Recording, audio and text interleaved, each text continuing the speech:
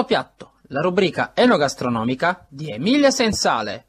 E noi Emilia Sensale ce l'abbiamo live, quindi meglio di così, che cosa possiamo, cosa possiamo chiedere effettivamente? E, cara Emilia, allora, ehm, cosa c'hai di bello da raccontarci ecco, in uh, tema appunto enogastronomico? Allora Raffaele, l'hai detto tu stesso che è passata Pasqua, è passata Pasquetta, tra l'altro Pasqua stata una buona giornata anche dal punto di vista del medio, Pasquetta, Ha tenuto, diciamo, dai. il sole è andato un pochino a nascondersi, però eh, comunque non è che ci sia stata chissà che pioggia, so che molti amici sono riusciti a fare la, la scampagnata, la braciata, insomma tutto quello che vuole tradizione e soprattutto molti sono messi sull'erba a mangiare l'avanzo che c'era del casatiello e della pastiera del giorno prima. E io proprio di questo vorrei parlare oggi perché in realtà casatiello e pastiera sono eh, due bontà tipiche partenopee che vanno bene per tutto l'anno. Io almeno le faccio tutto l'anno e non solo a Pasqua e quindi mi Ottimo, sembra giusto ottimo, parlare ottimo. di queste due meraviglie. E io sono sicuro che il buon Federico, e e fra l'altro è tornato anche Luca in questo momento, che ti faccio salutare. Ciao Luca! Buonasera, buonasera alla nostra cuoca. Eh, Allora, che cosa ci avete preparato questa sera? Ok, facciamo inverso, Luca prima e poi tu. Esatto. Ok, allora E- dai, cosa ci hai preparato? Allora, vi dicevo, io semplicemente stasera volevo eh, dare la ricetta o comunque parlare del casatiello e della pastiera. Mm, mm, Eh, mm, mm, mm, inizierei con quella che in realtà è la storia più affascinante, ossia eh, la pastiera. Non si dovrebbe iniziare col dolce, però in realtà la vita ha bisogno di dolcezza, Certo. quindi direi di iniziare eh, proprio dalla pastiera, perché in realtà non tutti sanno che eh, la pastiera ha una sua leggenda, una sua storia, una sua tradizione. Eh, secondo appunto questa leggenda eh, sarebbe nata eh, quando molto molto tempo fa su una spiaggia partenopea non, eh, non specificata eh, le mogli dei pescatori preoccupate per la tempesta che stava arrivando dall'orizzonte eh, una sera lasciarono eh, sulla, eh, sulla spiaggia delle ceste, dei grandi cestini con della ricotta, della frutta candita, il grano, che questo è il periodo del grano, e Mhm. le uova e poi dei fiori di arancio, tutto questo come offerte per Nettuno, per il mare, affinché i loro mariti potessero tornare a casa sani e salvi. Cosa dice la leggenda? Che in realtà la tempesta passò, arrivò il sole il giorno dopo ed era così bello, splendente, eh, mischiare tutti gli ingredienti, un po' come se fosse un, eh, un forno etereo, diciamo così, secondo questa leggenda. Mm. Quindi i mariti tornarono eh, dalla loro pesca, andò tutto bene, le mogli trovarono questo dolce pronto nei cestini e così sarebbe nata la pastiera. Caspita, eh, non è non male poi. eh sì. Io sono un ci- goloso quindi. Ci vuole anche diciamo, un tocco storico perché comunque eh, ricordo cari amici che noi trasmettiamo da Napoli e quindi chiaramente la pastiera è un dolce tipico napoletano. Decisamente. Hai altre curiosità, caro Federico, visto che ci siamo? Volevo, ecco, volevo sapere da Emilia se, eh, in base alle sue ricerche, se la, la ricetta per la pastiera è una ricetta classica e delle varianti, quali sono le linee guida per quanto riguarda la ricetta, cioè le varie opinioni su, quale, su in che modo vada fatta per essere sempre buona al palato. Allora, l'originale ricetta, cara Federico, in realtà userebbe il grano, tra virgolette, originale, cioè Mm. proprio il grano che andrebbe eh, preparato in casa, ossia messo in ammollo, un po' come si fa con i fagioli, almeno la sera precedente della preparazione e poi cotto in casa nostra eh, in, ah, in abbondante acqua bollente e salata. Ora, eh, poiché in realtà non tutti eh, fanno il grano in casa propria, Eh beh. si compra il classico grano, quello che si trova nei vasetti. E comunque bisogna preparare la famosa crema con latte eh, prima di mischiare il resto della ricotta e degli ingredienti. Però ovviamente crea molta più facilità preparazione della pastiera rispetto al fare da capo ecco, il grano, eh, a trasformare il grano per la pastiera. Non a caso poi questo è un dolce di grano proprio perché dovrebbe essere simbolo della primavera, eh, dei campi che regalano il grano e quindi ecco... Quindi è un simbolo di, diciamo, un simbolo rigoglioso per l'avvento della primavera. Esatto, in merito alle varianti che mi hai chiesto tu, ce ne- pastiera, classica è quella, Eh, poi lasciamo appunto eh, da parte il discorso grano non grano. Eh, poi, oddio, se uno vuole usare varianti ci sta il famoso uso della crema pasticcera. In Ah, realtà la ricetta originale non prevede l'uso della crema pasticcera, che comunque oggi si porta molto, o anche molte pasticcerie rinomate usano la crema pasticcera, però ricordo comunque che nella ricetta tradizionale non è presente. Eh, poi uno volendo può fare mille varianti, c'è chi aggiunge molta frutta candita all'interno, molto cedro, eh, c'è chi aggiunge molte fialette, sa- sapete, no? le fialette quelle dei mille fiori, dei fiori d'arancio, c'è chi prova disgusto per troppe fialette, Ecco. poi oh, ne ho viste delle cose un po' particolari, c'è chi ci ha inserito il pistacchio, chi le gocce di cioccolato, insomma ognuno la fa come, come meglio crede. A discapito della tradizione, fra l'altro. A discapito della tradizione, fra l'altro. Esatto, ma la ricetta originale è quella, anche perché ripeto, la pastiera a proposito della leggenda è un simbolo, cioè è il simbolo di questo periodo. Il latte che è il simbolo della, della madre che, che allatta il bambino. Questa è bella, grano, mi piace questa- È il simbolo della questo primavera e parallelo. della rinascita. Questa è una bella cosa, questa è una bella cosa, davvero. Eh, beh, possiamo immaginarci una, una scena. Eh, Emilia, però, perdonami, ti ho interrotto bruscamente. Continua il tuo, No, il tuo racconto. Perdonami. Anzi.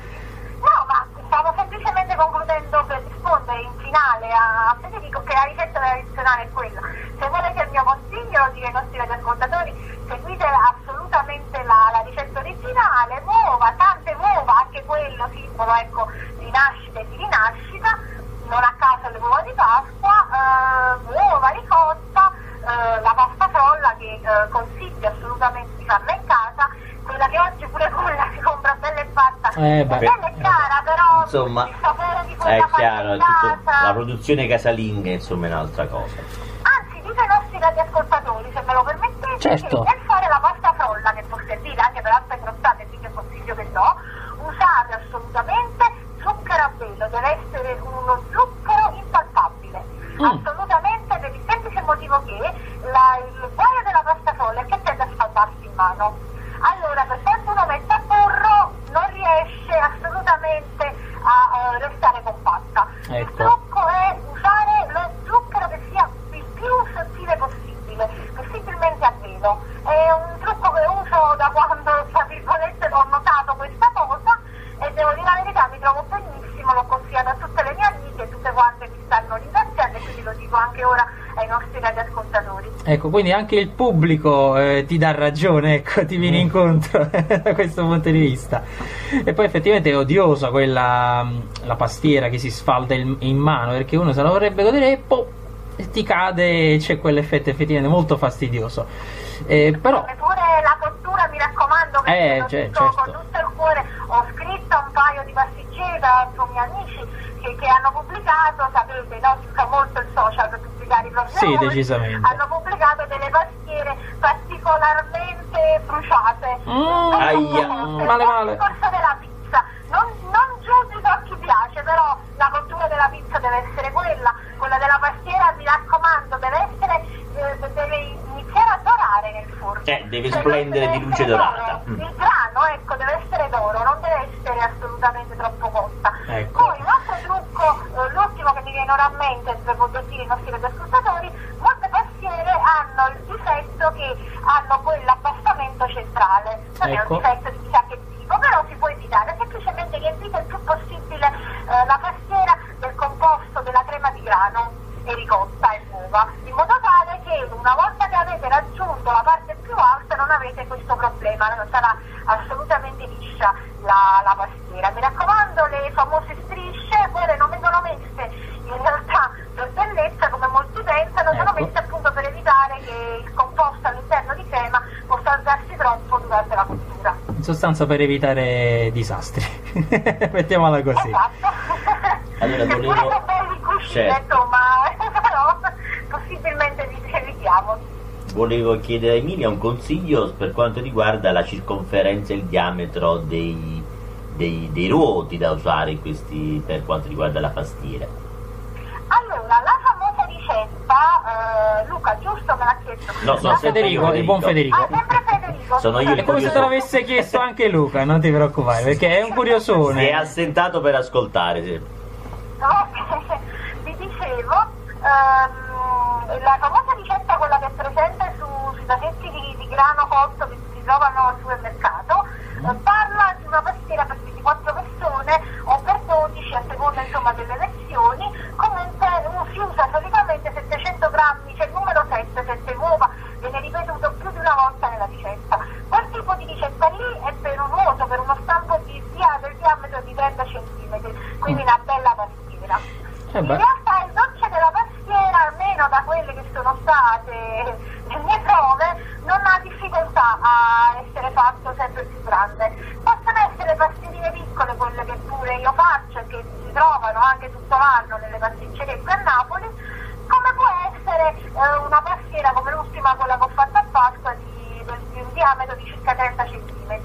non c'è una grande differenza, né c'è un consiglio da dare. Eh, possibilmente fatene quanto più possibile, così uno ha più giorni di golosità da poter vivere.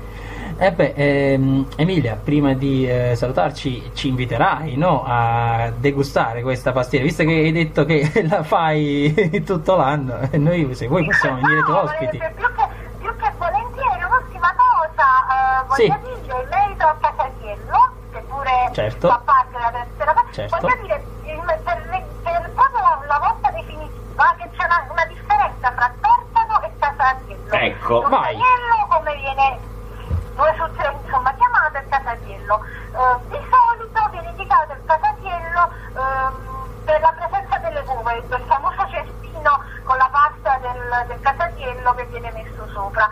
Di solito dal punto di vista visivo, quando vedete le uova sopra alla, alla torta, insomma al piatto, eh, è Casatiello, non è tortano. Mm. La differenza in realtà non è nel contenuto dal punto di vista di formaggi e tutto il resto, eh, anche se insomma le uova fanno la differenza, è proprio nell'uso della sugna. Il tortano tende solitamente ad avere più strutto, più sugna all'interno del composto, quella è la differenza principale. E non è una differenza da poco, effettivamente. Sì. Emilia, io voglio ringraziarti per questo gustoso No, appuntamento. Per questa apripista del, di sottopiatto è stata veramente una cosa eccezionale. Decisamente, Anche perché ora tra poco andiamo a mangiare dopo la diretta, quindi c'è fa- è una bella fame A me effettivamente. mi ha fatto un'infame. Hai visto? Eh, mezzo vedi. poco. Questo era Luca, ecco. Eh, Non ti ho fatto venire fame come spero, non per cattiveria, anzi a voi vostri ascoltatori, vuol dire che ho centrato l'obiettivo della rubrica. di Obiettivo raggiunto. Abbiamo obiettivo spacciato raggiunto. tutte le curiosità e speriamo che abbiano preso appunti i nostri cari radio amici di tutta Italia. Esattamente, in ogni me caso potete... che dare per, la prossima, per il prossimo appuntamento con il sottopiatto, di ringraziarvi e di continuare, ecco, eh, invito tutti a continuare a seguire assolutamente Radio No Frontiere. Grandissimo e ottimo promo fra l'altro e noi ci risentiamo settimana prossima con un nuovo eh, contributo. Emilia, grazie da parte mia e anche dai nostri Ringrazio Emilia come adepti. sempre impeccabile e puntuale e la rimandiamo alla prossima puntata di Parole Libertà. Un saluto a voi e a tutti i nostri radioascoltatori. Ciao. Grazie Emilia, a presto. Ciao ciao ciao ciao ciao. ciao.